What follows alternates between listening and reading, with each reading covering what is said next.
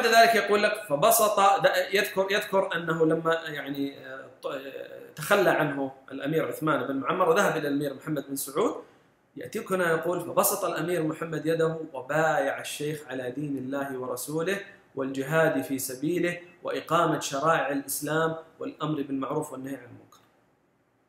بايع على دين الله والجهاد في سبيله جهاد من؟ الجهاد مصطلح إسلامي يطلق عندنا في قتال المسلم للأعداء من غير المسلمين. لا نفهم الجهاد إلا هكذا. خاصة حينما يقترن يقترن ببيعة، يعني أنت قاعد تتكلم عن الجهاد الأصلي. وإقامة شرائع الإسلام والأمر بالمعروف والنهي عن المنكر. وبدأ بعدها عن مسلسل القتل. فقتلوا أيضا الأمير عثمان بن معمر ولاحظ يقول أنه يعني هم اشتكوا فيه الرجل أن أنه كان يعني يخالفهم ويعني قد يكيد لهم مثلا بالمكائد. فقال إلى أن تكرر منه ذلك المكر وظهر نفاقه. نفاقه أنه ابن معمر منافق. يظهر لهم الإيمان ويبطن الكفر طبعا. قال فانكشف أمره فقام بقتله جماعة من أهل التوحيد بعد أن انقضت صلاة الجمعة في مصلاه بمسجده في العيينة يعني قتلوه داخل المسجد. هذا عابد الوثن وعابد الحجر. إحنا نتكلم الآن عن دعوة ماذا؟ دعوة أناس ارتدوا عن الإسلام وعبدوا الأشجار والأحجار. ثم يأتي ويقتل الإنسان في داخل المسجد في داخل المسجد يصلي في صلاة الجمعة. ويقول لك هذا جهاد وهذا إنكار للبدع والمنكرات والحوادث فقط وليس تكفيرا. ثم أتى الشيخ وبدأ يقول وكاتب الشيخ بدعوته أهل البلدان ورؤساءهم ومدعي العلم فيهم فمنهم من قبل الحق واتبعه ومنهم من اتخذه سخريا واستهزأوا به تكاتب بدعوتك أهل البلدان لماذا؟ ماذا تكاتب؟ هذه يعني إحنا على طول نستحضر فيها فعل النبي صلى الله عليه وسلم حينما كان يخاطب الملوك إني رسول لكم من الله وأسلم تسلم وإن لم تسلم يعني أنه سوف يأتيك ويأتيك. فشيء غريب حقيقة. يأتي بعد ذلك ابن غنام ويكتب لك باب كامل اسمه الغزوات، الغزوات كذا كذا الغزوات ويبدأ يفتتح يقول أرسل هو والأمير محمد بن سعود إلى دهام بن دواس رئيس بلدة الرياض ليتبع طريق الحق وينضم إلى الجماعة واجتهد في نصحه ما وسعهما الاجتهاد. تمام؟ ثم عاد تبدأ تأتيك العبارات الكثيرة جدا التي يمكن لو عددتها أنا أقول لك تصل 100 150 200 مرة. يذكر فيها ابن غنام الشيخ محمد الوهاب وجماعته بالمسلمين يصفهم بوصف المسلمين. ويصف من يحاربونهم بالمشركين. فيأتيك مثلا في أحد الوقائع يقول فانهزم دهام وجماعته والمسلمون بأثرهم. المسلمون بأثرهم. تمام؟ ثم يأتي بعد يقول فلم يشعر المسلمون إلا وهم خلفهم فانكسروا في في في إيش؟ في الواقع ثم يقول لك واستشهد من الجماعة. عبارة إيش؟ الاستشهاد. الاستشهاد. واستشهد من الجماعة. يأتيك في موضع آخر هنا ويقول في وفي هذه السنة ارتد إبراهيم بن محمد بن عبد الرحمن أمير ضرما ارتد. ارتد كيف؟ لأنه هذا كان معهم و, و, و يعني غزوه وأخذوا هذا ثم بعد ذلك تركهم وانقلب عليهم. فيسميه مرتد على طول. هذا ارتد. ثم غزا المسلمون بلدة الزلفي ثم غزا المسلمون الخرج. كذا غزا والمسلمون. ثم أغار المسلمون على فريق من البدو يقال لهم دهيمان فأخذوهم أجمعين وقتل من المسلمين اثنين. كذا أغار على فريق من البدو المسلمون. أغاروا على هؤلاء فأخذوهم أجمعين. شفت كيف؟ وفي أواخر هذه السنة يقول ارتد أهل منفوحة. كذا أهل منفوحة كلهم ارتدوا. ليش؟ لأنهم يعني ضجروا من هذه الدعوة ورفضوا مطاوعة الشيخ محمد بن عبد الوهاب وقالوا لا لا نريد وكذا. ارتدوا ارتداد كامل. قال ارتد أهل منفوع ونبذوا عهد المسلمين. ارتدوا. والعجيب سبحان الله يعني دعوة الحق ودعوة الإسلام الصافي يقبلها الناس بفطرتهم. لا لا يدخلوها مكرهين. فهؤلاء الناس في ذلك الوقت دخلوا هذه الدعوة مكرهين والدليل على هذا أنه حصل كثير من الارتدادات التي يذكرها ابن غنام والتي الآن سوف يوضح جانبا منها يقول يقول وحين رأى الشيخ محمد بن عبد الوهاب تظاهر بعض أهل أهل البلاد بالضلال وارتداد من ارتد منهم عن التوحيد كثرة الإيش؟ التراجعات والخروج عليهم ما ما عاد صاروا طايقينهم الناس. يقول جمع في هذه السنة 1167 أهل الإسلام من بلادهم ووعظهم وبين لهم سنة الله فيما يجري على أهل التوحيد من أهل الفجور والشرك وكشف لهم معاني الآيات الواردة في القرآن بذلك وبشرهم بالنصر والظفر إن استقاموا على الدين وثبتوا عليه وأمرهم بالرجوع إلى الله والتوبة وصدق النية فتصدقوا بصدقات كثيرة وسألوا الله النصر كيف؟ لأنه مروا بارتداد كبير عن عن الإسلام. ثم يأتيك في واقعة عجيبة. يقول ثم إن السيايرة في بلدة طرما. هذول ناس يقول عنهم الغنام يقول احتقروا أهل الدين. هكذا يقول احتقروا أهل الدين. ومن هنا ترى يأتيك في النواقض موضوع الاستهزاء. كانوا حريصين عليه لأنه كان يستهزأ بهم كثيرا. كانت أقوالهم غريبة. فكان. يعني يتعرضون كثيرا للسخرية منهم. فجعلوها ناقض على طول من نواقض الإسلام. فهنا قال لك احتقر أهل الدين. فرفعوا أمرهم إلى الشيخ محمد بن عبد الوهاب فقال نحن نجهل حالهم.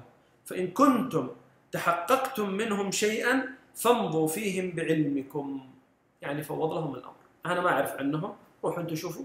اللي تشوفوا فيهم شفتهم كفار خلاص. وفعلا شوف إيش قال؟ قال فبادر إليهم أمير ضرما وجماعته فقتلوهم صبرا. صبرا في لغة العرب يعني بدون قتال بدون سيف، كذا زي الاسرى مسكوهم وقتل. وكأنك تشاهد جماعات التكفير المعاصرة اليوم بأم عينك. ومن من الذي كفرهم الآن هنا؟ الشيخ نزل إلى الساحة ونظر فيهم وحتى يكفر المعين كما قلنا نظرا لهؤلاء قال أنا ما أعرف حالهم لكن اذهبوا فيهم بعلمكم ومن هذول؟ طبعا معروفين ناس جهلة أعراب ما يعرفون ولا شيء يعني إيش إيش بيكونوا يعني؟ حتى ينفذوا مثل هذه الأمور. اذهبوا فيهم بعلمكم وقتل ودم الله المستعان. وفي هذه السنة وهنا هنا نكبه النكائب الحقيقة. هنا نكبه النكائب. وفي هذه السنة أيضا قتل سليمان بن خويطر. هذا بن بن خويطر كان رسول الشيخ سليمان بن عبد الوهاب في رسالته التي آه، أرسلها إلى أهل العيينة. رسالة علمية موثقة مضبطة شيء يعني تقرؤوها وأتمنى أنكم تقرؤوها الحقيقة. علم علم حقيقي ورصين انظروا ماذا فعلوا به. في هذه السنة أيضا قتل وهنا بعض الإخوة رد علي في هذا الكلام قال كذبت. أقول تفضل شوف. وفي هذه السنة أيضا قتل سليمان بن خويطر وسبب ذلك أنه قدم بلدة حريملاء خفية. وهم إذ ذاك بلد حرب. حط لي تحت هذه برضو خطين. سنأتي لها بعدين. شوف كيف انه حولوا بلاد المسلمين إلى بلاد حرب. وهم إذ ذاك إيش معنى بلاد حرب؟ لمن لا يعرف. ديار المسلمين إما تكون دار إسلام وإما دار عهد التي يكون بيننا وبين الكفار فيها آه، معاهدة وإما دار حرب. يعني ناس يحاربوننا في الدين وليس بيننا وبينهم أي عهد ولا ميثاق. وهؤلاء دار حرب نستطيع أن نقاتلهم ونقتل منهم مباحين لنا. فالآن هم جعلوا الآن بلدهم إذ ذاك دار حرب يعني في كل البلدان طبعا هم جعلوها ديار حرب. فبيقول لك وهم إذ ذاك بلد حرب. يقول فكتب معه قاضي البلدة سليمان بن عبد الوهاب أخو الشيخ كتابا إلى أهل العيينة ذكر فيه شبها مريبة وأقاويل محرفة وأحاديث مضلة. والله ما في شيء من هذا. وأمره أن يقرأها في المحافل والبيوت. فألقى بذلك في قلوب بعض أهل العيينة شبهات غيرت قلوب من لم يتحقق الإيمان ومن لم يعرف مصادر الكلام. فأمر الشيخ به أن يقتل فقتل. فأمر الشيخ به أن يقتل فقتل. قتل من؟ الرسول الذي جاء بالكتاب. ثم يكمل بعد ذلك الفتوحات المزعومة. يقول لك ثم فتح المسلمون حريملاء عنوة. عنوة. هذه هذا مصطلح حتى فقهي يعني. فتح عنوة والفتح آه، صلحا وهكذا يعني. قاعد بيتكلم على كفار كأنك تقرأ أنت الآن في تاريخ ابن هشام. ودخل المسلمون البلدة وأعطى عبد العزيز بقية الناس عبد العزيز بن محمد طبعا بن سعود بقية الناس الأمان وصارت البلدة فيئا من الله ودورها ونخيلها غنيمة للمسلمين. يا إخواني يبغى لها يعني هذه الآن؟ غنيمة للمسلمين وفيء وللمسلمين.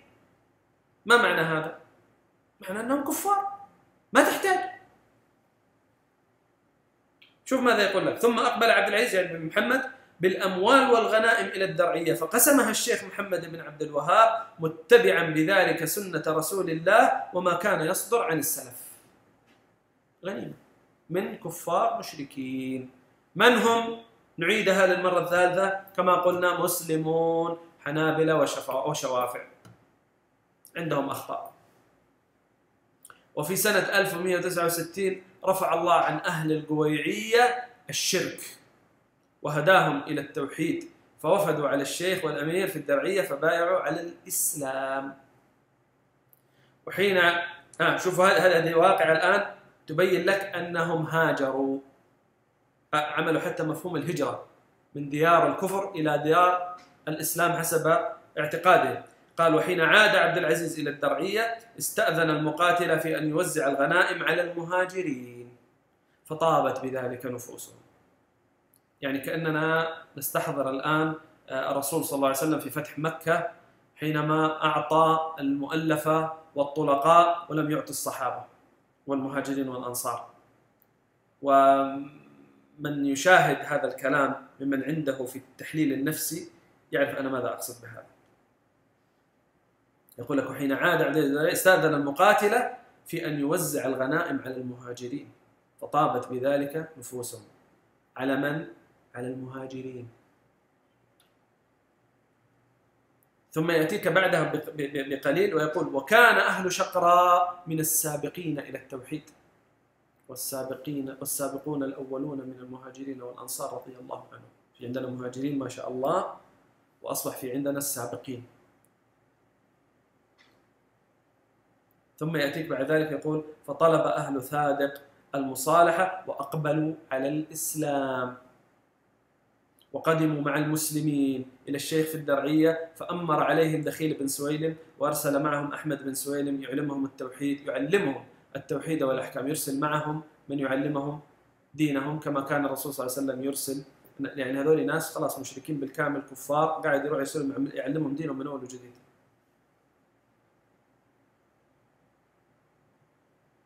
يأتيك بعد ذلك يتكلم عن آه، الحوطة والجنوبية فيقول وكان أهل هاتين البلدتين قد أرسلوا إلى عبد العزيز ليقدم عليهم وأنهم يريدون الدخول في الإسلام. وإعطاء العهد على ذلك.